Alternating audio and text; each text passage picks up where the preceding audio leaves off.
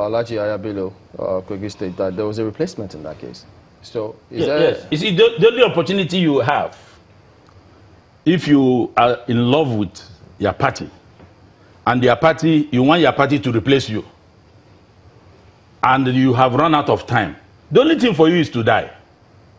If you want to sacrifice that for your party, you can die. You can commit suicide, so that your party can come in. That is what the law says. But let me refer you to the case of Labour Party versus INEC.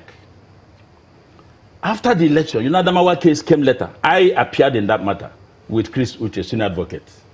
That was the only time we succeeded in stopping the election, the by-election or rerun in Adamawa State. Our chairman of the party in Adamawa was our candidate. When he lost, he took appointment and resigned from the party with uh, uh, Nyako's government.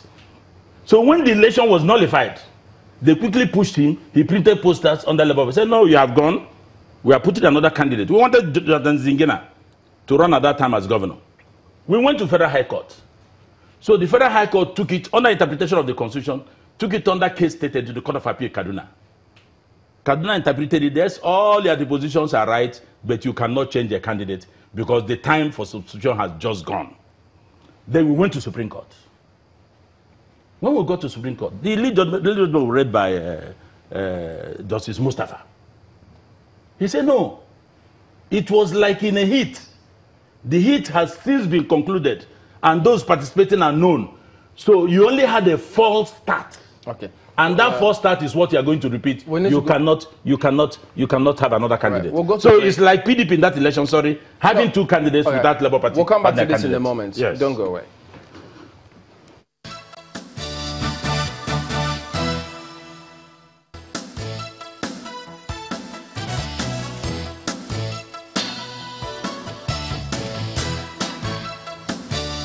All right, welcome back. So, still drawing from when uh, Prince Abubakar Audu's name uh, was replaced with that of Alaji Yahaya Bello. Uh, let's get your response.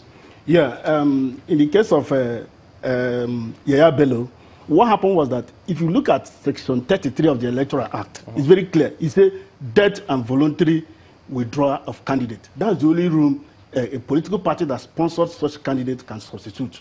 But the problem with Yahaya Bello, if you look, he said before the commencement of polls, if you read the, section 33 of the Electoral Act very well, section 36 of the Electoral Act very well, it says before the commencement of, if a candidate dies, now the pool has started. I'm very, very, very, very surprised that the Supreme Court went the way they went to say that they can still substitute. Because once the pool commences, the political party cannot be allowed to substitute a candidate. Just like what I'm saying, if a candidate voluntarily withdraws, in, according to section 35 of the Electoral Act, the implication is that political party that sponsor the candidate will not substitute.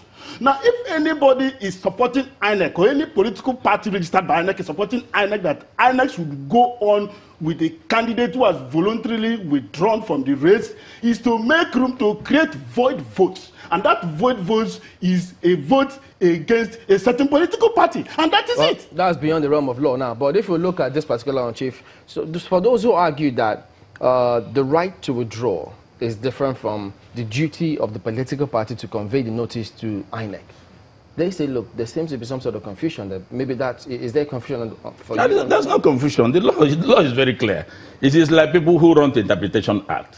When the provisions of a law or enactment is very clear, you don't need to go to Interpretation Act. It is only when there is a confusion or ambiguity that you say, oh, let us see how they interpreted it. Just like a party may choose direct or indirect primaries. You recall I was here, and I said, APC, you are wrong to do both. Then we go to we went to the interpretation act to see the meaning of all. The interpreter said it means exclusivity, not not related, not joint. So in this instant case, it is clear. Either you die or you withdraw within time. Once you have fallen out of these two provisions of the law, INEC will not remove the ballot of that political party, that the logo of that political party from the ballot. That is the ambiguity. It is clear. So unless unless we are importing it into a law, So it doesn't that, but they also argue that that then takes away her right to withdraw. no, her right to withdraw has not been tram- trampled upon. She has gone.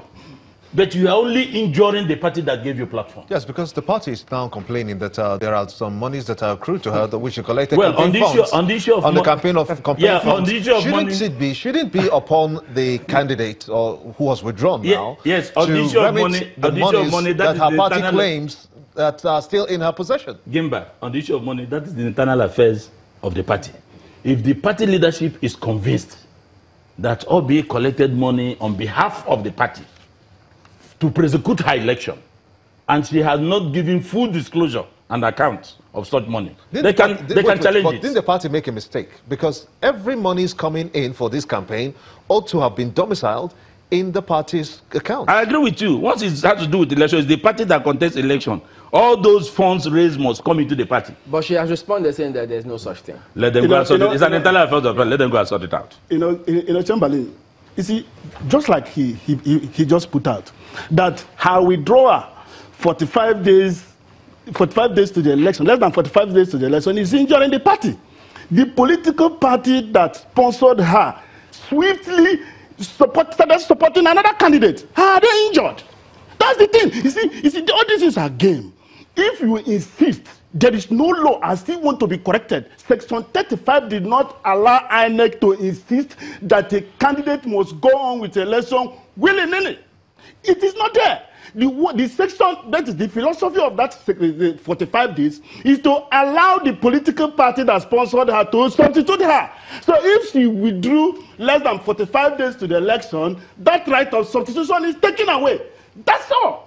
I don't know why, poli- why political. You see, when I next started registering all these political, you ask them, like my Leonard friend here, who is the pre- who is the presidential candidate of their party? We don't have- They don't have presidential candidate. Yes. Is it They are right? supporting Is another candidate. is it a- no, no, no, no, that no. supporting another candidate. No, no, no, that is why Yes, they yes, Please, please, please, please. See- don't have politi- you see- they don't have presidential candidates. No, no, they don't have presidential Wait. candidate. And the essence of not having, and the essence of not having presidential candidate is not for nothing. It's not for nothing. Can you quickly Don't come to television and make sweeping statements. It's not a sweeping statement. Tell us your presidential candidate are- and why you don't have presidential candidate. There is no law that provides that you should have a presidential candidate.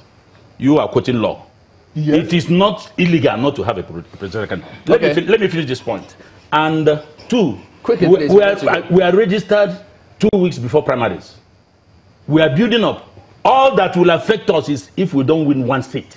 All right. At least state assembly, then we'll be deregistered. We need to go, And that is my gentlemen. interest. Former We governor of Ondo We are former not- governor of Ondo we are was a presidential tomorrow. candidate. So a why did he minute, withdraw? Goodbye, everybody. Thank you for not- we are watching. I'm anybody Chamberlain. yet. And I am Gimba Umar. the former governor Ayo of Ondo State Makinde, was a have a wonderful He has the day.